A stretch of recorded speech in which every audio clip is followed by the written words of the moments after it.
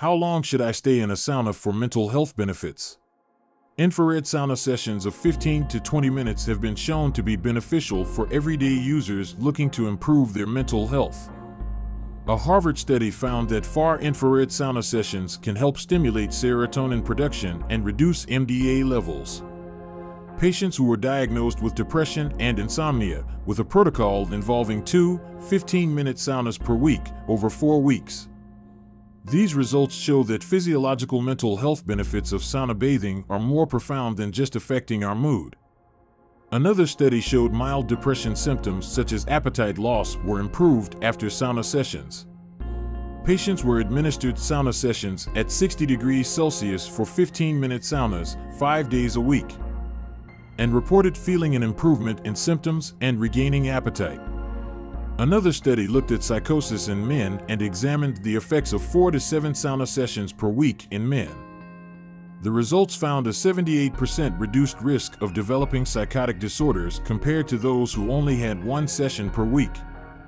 Whole body hyperthermia is another treatment that may be effective for major depressive disorder. Whole body hyperthermia involves exposing the body to extreme heat like those in a sauna.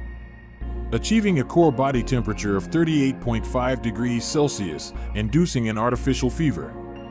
A study found that patients who participated in this protocol had dramatic improvements in clinical depression symptoms.